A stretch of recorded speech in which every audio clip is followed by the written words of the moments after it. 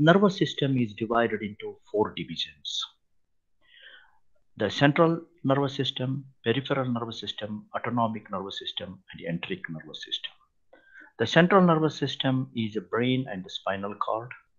The peripheral nervous system is the nerves emerging from that is the the, the dorsal root ganglia and the nerves so this that forms the peripheral nervous system. Autonomic nervous system is the sympathetic and parasympathetic divisions. The enteric nervous system is a different entity altogether, and it is uh, uh, in the visceral, especially the intestinal or uh, gastrointestinal viscera or visceral components of the enteric nervous system that comprises of.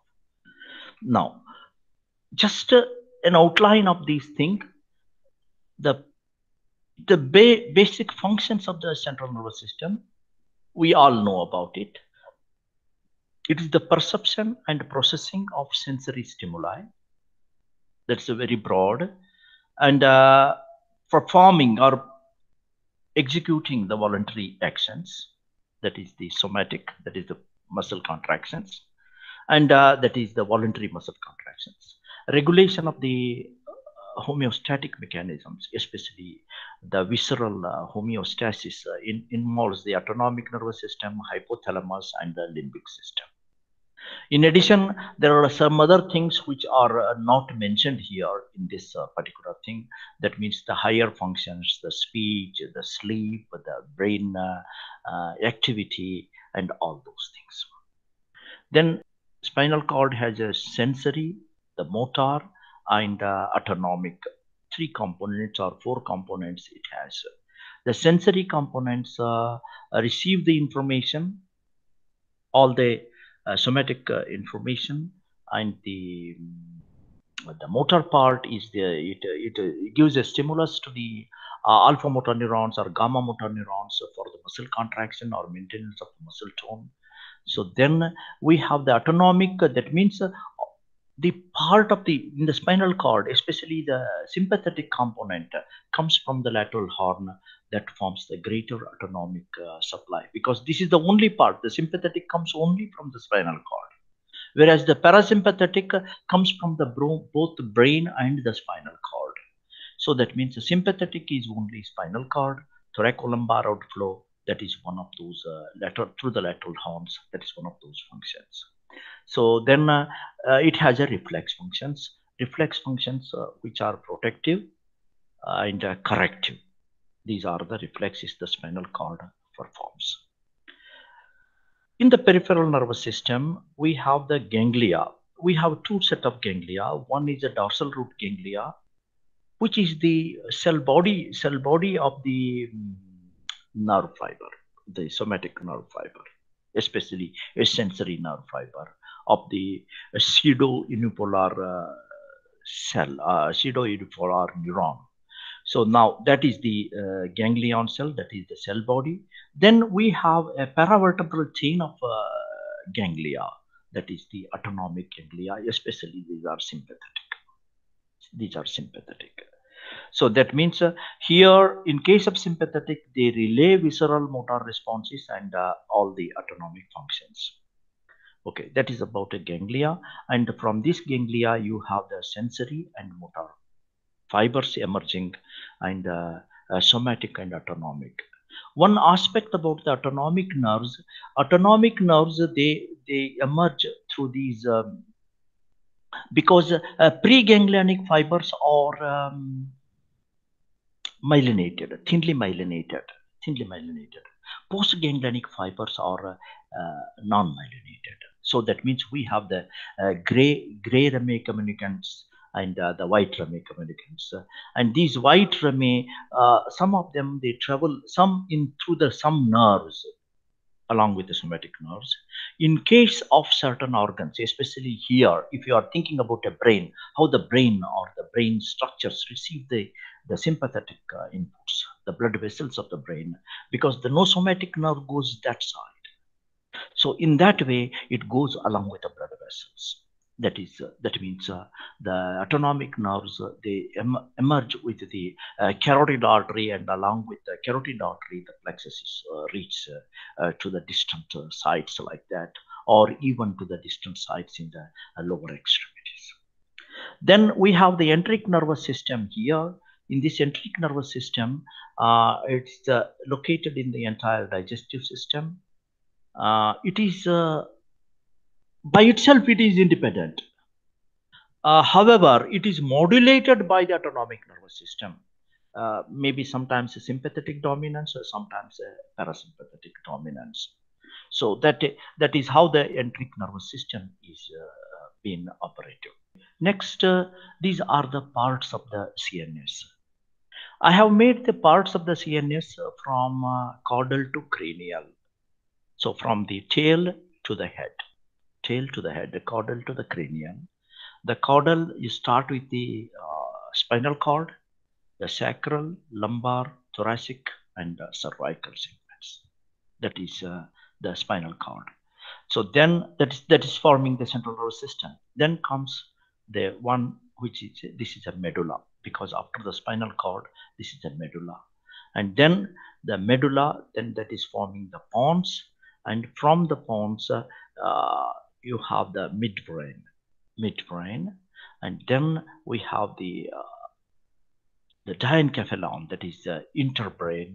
Then we have the uh, the cerebrum. So that means we have spinal cord, medulla, pons, cerebellum comes as a hindbrain. Writes both the medulla and uh, the pons, the cerebellum. So this is cerebellum here as a part of the uh, hindbrain or on the posterior side or on the dorsal side. So these are the uh, structures of the are the parts of the central nervous system uh, which we, we want to be uh, familiar. I just acquaint the students uh, these parts uh, again. What are the parts of the brain are called because we get the terminologies in our in our textbooks. What is called a, a prosencephalon, mesencephalon, rhombencephalon. We get those terminologies. So a student may be perplexed uh, with this uh, type of terminologies. That is why I, I, I clarify those these terminologies. The forebrain, so that means the forebrain, midbrain, hindbrain. These are the three parts of the brain. The brain is having three parts. The forebrain is a prosencephalon. Encephalon is the term used for brain. The prosencephalon, then midbrain is a mesencephalon, and hindbrain is a rhombencephalon now this is what uh, you we have here and uh, looking going it further the these are the the parts of the prosencephalon. The prosencephalon is divided into telencephalon and diencephalon. Because some of the books uh, sometimes we use a terminologies and um, uh, this controls the telencephalonic structures. So that are the students gets perplexed to what is this telencephalonic uh, structures? Now if you are looking at that, uh, the telencephalonic structures are uh, the cerebral cortex, the entire um, cerebral uh, mantle, and the basal ganglia. Basal ganglia somewhere here. This is corpus callosum, and uh, limbic system. All these structures are telencephalic structures. So then, in between brains, uh, in between brains, we have a diencephalon that is also a part of the full brain. This diencephalon uh, centers around the thalamus. So that means uh, thalamus, hypothalamus, hypothalamus, epithalamus, and subthalamus. All these structures are uh, diencephalonic uh, structures. So these uh, uh, telencephalon and diencephalon, they form the forebrain structures. Then comes the midbrain. Midbrain, if you are looking at this, this is the forebrain structure. This is a diencephalon there. And uh, this is a pons. This is a pons. And you have a pons and the diencephalon. You have this area. That is a very small area. That is the midbrain. This is the midbrain. And uh, this is the thalamus. These are the two thalamic nuclei. And in this is a pineal gland and uh, this is a superior colliculus and here below this sub subthalamic area so you have the structures above the, this is pons so below the thalamus and above the pons. This is the midbrain. So now this midbrain has uh, three major parts. The colliculi, that is the superior colliculi and inferior colliculi. So this is a, a superior colliculi on either side and inferior colliculi on either side. A tectum, a tectum is just a, a structure uh, below the inferior colliculi, and uh, usually uh, most of the time we we just mention uh, mention about uh, uh, spinotectal spinotectal fibers or the ascending tracts, spinotectal tracts. Maybe you you may they actually they are coming to colliculi they are spinocolliculi uh, spi uh, colliculus because the colliculus uh, uh, controls all our eye eye movements. So spinotectal or spinocollicular they go as a synonymous. So tectum is this structure. The tegmentum tegmentum is between the below the tectum below the tectum or below the inferior colliculus and the above the pons is the tegmentum. These are the uh, structures of the midbrain and uh, the, the differences between the tegmentum and uh, tectum are very uh, difficult for the functionality point of view.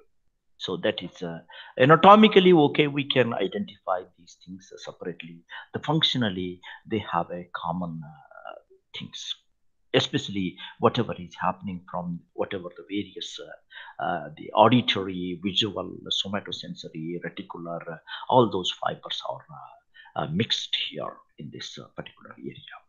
That's about the parts of the midbrain. Mesencephalon mesen means middle midbrain. Then rhombencephalon is a hindbrain and in this hindbrain we have two structures metencephalon and myelencephalon. Uh, metencephalon is a cerebellum and pons. Cerebellum, meten, this is one part, and this is pons. The metencephalon. And the myelencephalon is a medulla oblongata. Medulla oblongata. So that is uh, the hindbrain uh, parts. Okay. So now uh, I have made because uh, why I I just uh, clear these things uh, to all students because uh, uh, many books use these terminologies. let these terminologies be clear. they can go back and refer and then just try to try to be familiar with these things.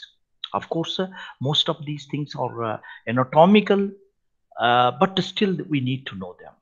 So this is about the various areas of the brain. Then moving on, the other terms used in the central nervous system. We often use the term uh, rostral and caudal or dorsal and ventral. Now, let us see here in this animal. This is a, a rat. A rostral is a, a, nose or tip of the nose, rostral. The caudal is the tail rostral and caudal you can see this uh, red line red horizontal line. Now in this rat if you are looking at the rat i will come to the human beings uh, next. So this is the dorsal surface. This is the dorsal surface and this is the ventral surface. And uh, for us uh, because when when we are taking the brain like this this is the brain. And uh, if we are taking the brain this part the superior part superior part is the dorsal and inferior part so the inferior which comes here in the uh, just above the uh, the the nasal nasal part. So this is inferior or the ventral. So this is a dorsal and when if i take up the brain uh, and uh, this is ventral and this is dorsal. So then again this uh, frontal we just say it is frontal uh, rather uh, the another terminology suppose if this person is lying down here the nose is coming here and that is a rostral so this is a, a terminology is always uh, not very uh, particular with these things. This is a rostral that is going to the nose or the glabella. And uh, the back to the occipital is a caudal rostral and caudal. So that means i have made in the brain this is a brain here and uh, this is a rostral structure and this is a caudal structure okay there is one more uh, point here if if i am looking at the uh, midbrain and the structures below the midbrain. So now this is the midbrain here or the diencephalon. This is a rostral part of the continuation of the extension. So the tail is the caudal. So that means we have even if you are taking about the cerebral mass, cerebral mass frontal is rostral and occipital is caudal.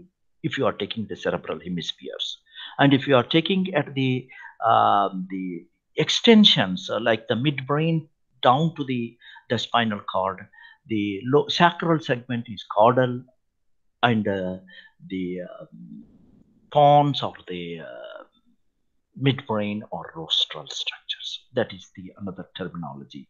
We because when we describe or whenever uh, whenever in hypothalamus, hypothalamus these problems arise. Whenever we are trying to discuss about various hypothalamic uh, uh, nuclei, they mention that it is rostrally situated, or it is caudally situated, or it is ventrally situated. So these aspects come up. For that reason, I am trying to put up these uh, anatomical uh, landmarks. In the spinal cord, it is much easier. So this is a dorsal or posterior. And uh, this side is ventral or anterior. There is no, uh, there is no uh, dif difficulty here in case of a uh, but uh, if you are looking at this here this is dorsal here this is ventral here if you if you are superior and inferior dorsal or this thing. Suppose you are trying to describe some of the nuclei of the hypothalamus, you have a dorsal nuclei. Dorsal nuclei means it is superior, and the ventral nuclei it is inferior in that hypothalamic uh, structure. So for that reason, uh, this uh, particular uh, understanding this diagram becomes uh, important. Now, uh, coming back here, so already I described about this. Now I have taken up the section B1 here this one I have taken it from Kandel's uh, textbook of neuroscience. So this B1 section, this section, if you are looking at that, uh, this is the section, this along the coronal uh, side, that is, it is a coronal section. So that means you have cut the brain like this. You have cut the brain in this arrow. So then when you do that, you have uh, such a type of uh, area coming up. This is a coronal section of the cerebral cortex. Now, how, how we look at, so we look at uh, this top one is a dorsal. This is a dorsal and this is a ventral. And uh, this one, the this is a medial because it's the midline, almost in the midline, or you can use the word midline also. The medial. Paramedial means uh, away, drifting away from the midline, the paramedian on either side. Then lateral lateral is uh, if you are if they are here. But in reference to the midline whenever this structure this structure is lateral to this it's a relative uh, the medial and lateral are relative terms. They they just try to uh, talk about here if you are looking at that uh, these are thalamic nuclei. And if these two thalamic nuclei i got to say that uh, they are uh, lateral to this ventricle here. Third ventricle or whatever the ventricle so like that, or if you are looking at this, uh, um, the basal ganglia structures of the the putamen and the globus pallidus, uh, they, you look at that. This is lateral to the lateral to the thalamus. So like that, you can describe the various things. In case of a spinal cord, I have just taken the spinal cord section here. In this spinal cord section, we have a, a dorsal side, dorsal side here, and the ventral side here. Okay, that is uh, one aspect. Uh, the another interesting feature of the uh, the brain and the spinal cord, you see all these areas are the gray matter. This is a gray matter these areas are the gray matter or the nuclei, uh, nuclei or the neurons. In case of the spinal cord, the gray matter is in the center. In case of the cerebral cortex, it is uh, outside, periphery. They are laterally situated. Whereas in case of the uh, cerebral cortex, the white matter is inside because the neurons are here and the uh, fibers emerge. This is the uh, nerve fibers. They emerge here this is a white matter whereas in case of the spinal cord this is these are the fibers coming and fibers ascend up the fibers come here relay in the gray matter and then ascend up as a bundle So this is a white matter. So that is the uh, difference. This is the dorsal side and this is the ventral side.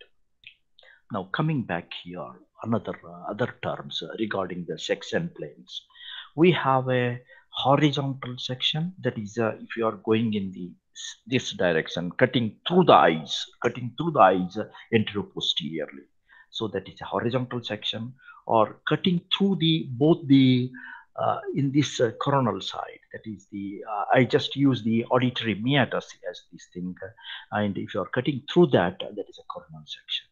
The sagittal section making uh, separately two halves. That is sagittal section now how that looks like uh, so let us see how that looks like. This is a horizontal section. So that that head is cut horizontally. So you just see that this is the section. And this becomes important when the uh, when we try to see the ct scans or mri scans uh, we have all these planes uh, um, become relevant uh, to us. So now this is how the brain area looks like if it is a horizontal section so that means uh, you have uh, the peripheral gray matter there and then we have the, the ventricles, then uh, thalamus, and all other uh, uh, structures around. So that is one part. This is the horizontal section. The coronal section we have seen maybe that previous one this is a coronal section you can just see that uh, uh, this is a central uh, sulcus there and then we have the lateral lateral sulcus or this thing you can just see the all the features uh, typically bilaterally uh, located. Now this is uh, this is about a coronal section. Then sagittal section, when you are cutting through the half, you see the brain like this. Uh, this uh, these are the uh, cortical structures. This the entire. This is the area of the cerebrum then uh, the inside the cerebrum, we have this is a cingulate gyrus. The green one is a cingulate gyrus, and then you can visualize all those uh, limbic uh, structures uh, very clearly. So this is a sagittal section, and you can see the cerebellum, various folia, they are emerging out. So that is the sagittal section. So I have summarized various parts of the brain, the forebrain, midbrain, and hindbrain and I have um, clarified the terminologies dorsal and ventral, rostral and caudal, the coronal, horizontal, and sagittal sections. And again, I clarified about what are these forebrain structures mean. So, forebrain, prosencephalon, telencephalon, diencephalon. So, this is uh, thalamic structures, this is cerebrum, basal ganglia. Uh, then midbrain, the the uh, especially uh, the colliculi, the tegmentum, and the tectum, and hindbrain or the uh, mesencephalon, the cerebellum, and the pons. The myelencephalon is a medulla. So this is what uh, I have uh, just introduced you uh, to the terminologies of the and various parts of the brain. Okay, mostly I have referred these Kandel's uh, textbook of neuroscience that you visit the my uh, youtube link uh, so that you will get a lot of information. Uh, you can just uh, hit uh, Shripad Deshpande in YouTube